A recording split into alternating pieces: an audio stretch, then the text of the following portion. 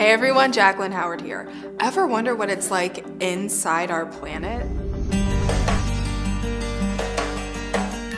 Come with me on a subterranean tour all the way from the rocky crust where we live through the layer known as the mantle to the wild, half-solid, half-liquid core of the Earth. We'll also be stopping by a newly discovered underground ocean. Let's go!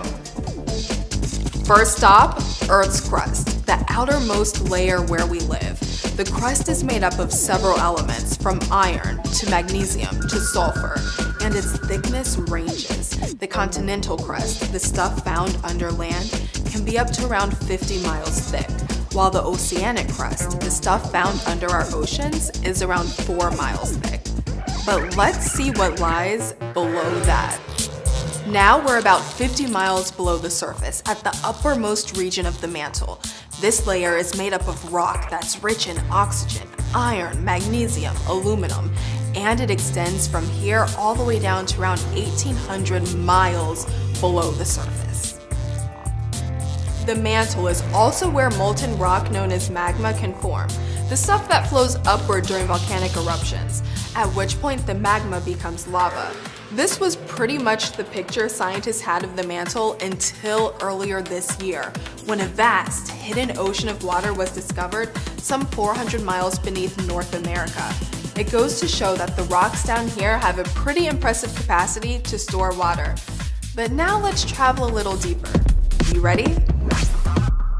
Here we are, 1800 miles down at the Earth's outer core, which runs all the way down to around 3000 miles. This is a layer of molten iron that surrounds Earth's inner core, and it's really, really hot down here. In fact, it's between 7,200 and 9,000 degrees Fahrenheit. But if you think that's scorching, wait until we reach the center of the Earth. And we made it to around 3,000 miles down, the uppermost part of the Earth's inner core. Like the outer core, it's made of mostly iron, but the pressure down here is so intense, the stuff is solid. It's almost incomprehensibly hot. It's about 11,000 degrees Fahrenheit down here. That's hotter than the surface of the sun. Now, the actual center of the Earth is about 4,000 miles down, but I'm starting to sweat, so let's skip that and head back up to the surface. Phew, back on the surface. If my virtual tour of the Earth's interior had been a real one, it would have been a first. We all know that no one's ventured beyond Earth's crust. But then, how do we know what's down there beyond the crust?